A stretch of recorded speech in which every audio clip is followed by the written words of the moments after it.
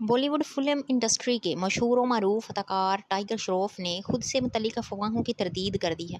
भारतीय मीडिया से गुफ्तु करते हुए अदाकार टाइगर श्रॉफ का कहना था कि दो महीने पहले मेरा नाम किसी और के साथ जोड़ा जा रहा था, लेकिन बताना चाहता हूँ कि मैं पिछले दो साल से किसी के साथ ताल्लुक़ में नहीं हूँ।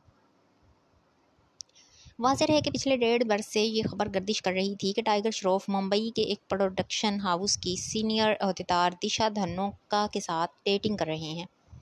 इससे केवल बॉलीवुड फ़िल्म, बागी टू, में टाइगर श्रॉफ के हमरा जलवागर होने वाली अदाकारा दिशा पटानी और दोनों के रिश्ते मोहब्बत में बंधने की खबरें भी सरगर्म थीं।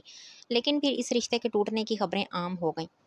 टाइगर श्रॉफ का असल नाम जीए हेमंत श्रॉफ है। वो दो मार्च 1990 को पैदा हुए। इन्होंने अपनी फिल्मी करियर की शुरुआत 2014 की एक्शन रोमानवी फ़िल्म हीरो हीरोपंती से की।